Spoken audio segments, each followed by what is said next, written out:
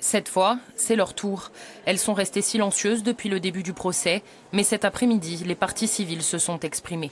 Le père de Savannah a refusé d'être filmé, mais à la barre, il déclare J'ai appris dans cette cour qu'on m'a caché pas mal de choses. Chacun prendra ses responsabilités. Juste avant lui, la mère de la jeune femme a raconté que sa fille se confiait peu et que malgré certains signes, elle l'a minimisé car elle n'aurait jamais imaginé qu'un tel drame puisse se produire. Au procès, elle a pris conscience de l'escalade. Il y a eu beaucoup de révélations qui, ont été faites des, amis de Savannah qui euh, apparemment avaient euh, reçu des, confidences de sa part et des tas de, choses que je ne savais pas, notamment sur les actes de violence.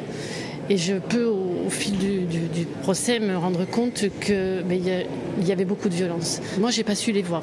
Voilà, il y a des choses que je n'ai pas su voir, que maintenant je, connais, je sais voir. Et c'est ce que je voudrais faire, euh, faire comprendre à une majorité de personnes.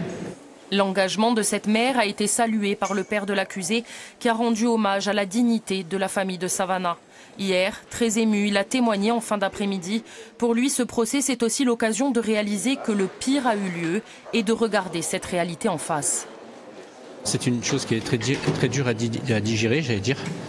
Euh, c'est au fur et à mesure de, l'avancée des, débats, j'allais dire, que l'on prend conscience de certaines choses, de certaines alarmes que j'ai pas vues venir ou que j'ai pas voulu voir, je sais pas.